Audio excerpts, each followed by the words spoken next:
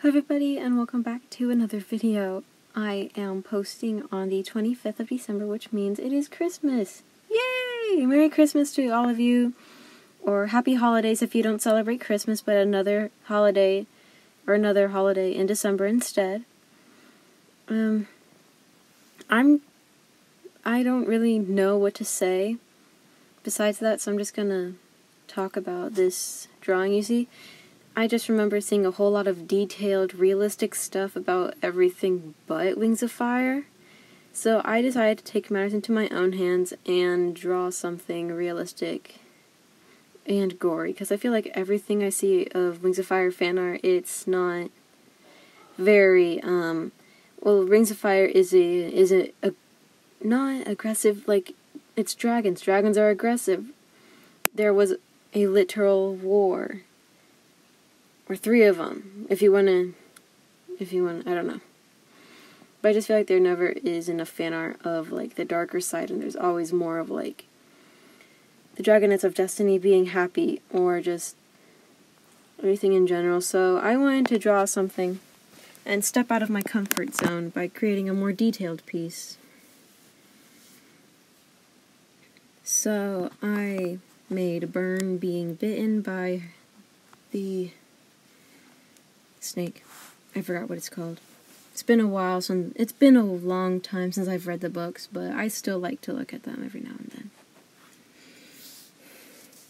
And I want to say I'm trying to work on a consistent um, uploading style, but it's just never working because I either forget or I just don't feel like it or I just don't know what to write, what to talk about or write about because of, you know, scripts. So it's kind of hard for me to know when or what I should post.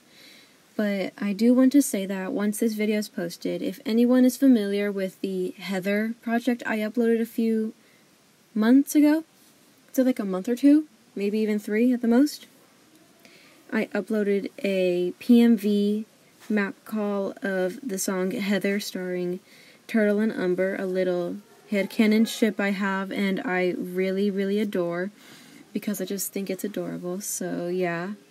And I just wanted to say that once this video is uploaded, I'm taking that video down because I just realized that I'm going to work on it myself, so I'm not going to um I just it the this just it the project just feels super special to me because it was something that I just put a lot of time and effort to, and I really like it, so I want to continue putting time and effort into it. Watching myself grow in my art style, and just looking at the entire project one day when I'm older, and just getting being able to think to myself that I did that, and I'm proud of it. So I will be taking that down, but don't worry, there is another map I have, Albatross's Blood it's the song Blood in the Water. If you're interested in a map part, it's for beginners. You don't have just have like some animating experience, like at least one animation video on your channel, and you can just ask for a map part. Just make sure to read the rules that are in the description.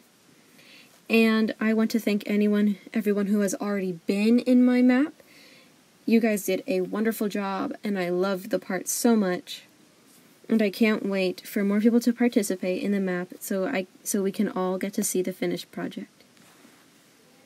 So this is a very very important thing.